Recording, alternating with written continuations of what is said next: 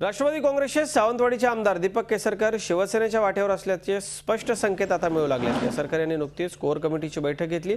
या बैठकीत एका गटानं राष्ट्रवादीत आपला सातत्यानं अपमान होत असल्यानं शिवसेनेमध्ये प्रवेश केला पाहिजे अशा प्रकारचं मत व्यक्त केलं तर शिवसेनेचे खासदार विनायक राऊत यांनी केसरकर शिवसेनेत आले आणि राज्यात सत्ता बदल झाला तर सिंधुदुर्गचे पालकमंत्री केसरकर असतील असं सांगून त्यांना प्रवेशाचं खुलं आवाहन केलंय.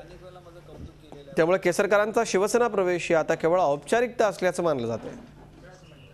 आदरणीय बाळासाहेबांच्या जवळ अनेक वर्ष मी राहिलो आहे. कारण बाळासाहेब आम्हाला नेहमी सांगायचे की नेहमी प्रवाहाच्या विरुद्ध पोहायला शिका आणि किनारा गाठा.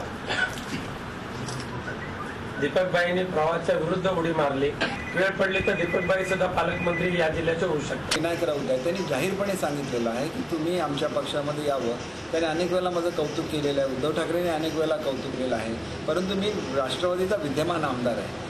जोपर्यंत मी माझ्या पक्षाचा राजीनामा देत नाही तोपर्यंत कुठलाही निर्णय मी घेऊ शकत नाही. झी चोवीस तास. रहा एक पाऊल पुढे.